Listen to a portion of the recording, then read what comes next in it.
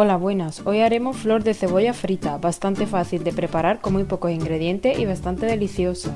Vamos con los ingredientes. 10 ml de leche, 100 gramos de pan rallado, 300 gramos de harina de trigo, una o dos cebollas, un huevo, sal, cebolla y ajo molido, pimentón dulce, tomillo y perejil molido, romero y orégano molido. Vamos con la receta de hoy.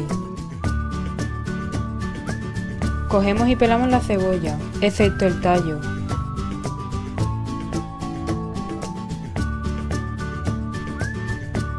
Una vez lista, cortaremos solo superficialmente el tallo. Cogemos y ponemos la cebolla que el tallo eche por la parte de arriba y sin cortar el tallo lo cortaremos en cuatro trozos, como lo hago yo.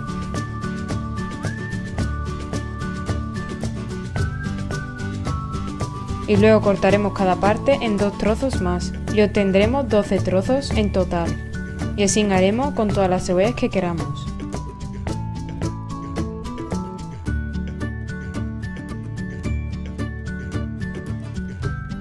Y ahora vamos abriendo la cebolla y le quitamos la parte del medio.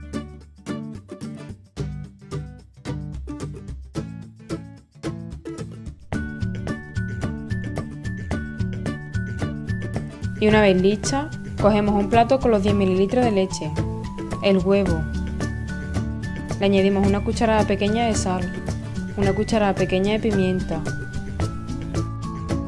y batiremos bien hasta integrar todo. Una vez lista, meteremos la cebolla y la bañaremos bien. Y con una cucharita le vamos añadiendo por encima. Una vez lista, cogemos los 300 gramos de harina en otro plato y le añadimos perejil molido, orégano y ajo, cebolla, tomillo, romero, pimentón dulce y lo mezclaremos muy bien. Añadimos la cebolla que antes hemos rebozado con la leche y el huevo y con una cuchara vamos a añadir por encima la harina para rebozarla bien. Una vez lista le quitamos todo lo sobrante, le vamos dando unos pequeños golpecitos.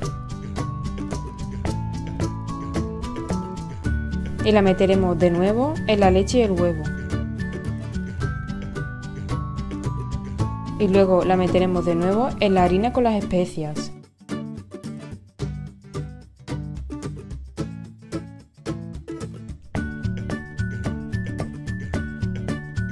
Luego le añadimos por encima un poquito de leche y huevo y la pasaremos por un plato que tiene pan rallado y eso hará que quede más crujiente. Y así quedaría. Cogemos una olla o una sartén con abundante aceite y encendemos a fuego fuerte. Una vez que el aceite esté bien caliente, cogemos una espátula, pondremos la cebolla y la meteremos en el aceite hirviendo y la dejaremos unos 5 minutos aproximadamente. Eso es al gusto de cada uno. Si lo quiere más hecha, la dejáis más tiempo. Si la queréis menos, la sacamos antes. Y ya estaría lista para comer. Así de deliciosa y crujiente quedó. Bueno, espero que les haya gustado el vídeo, suscribirse, darle manita arriba, comenta y abajo en la descripción os dejo también los ingredientes. Y activa la campanita para no perderos ningún vídeo mío de recetas deliciosas. Y hasta el próximo vídeo.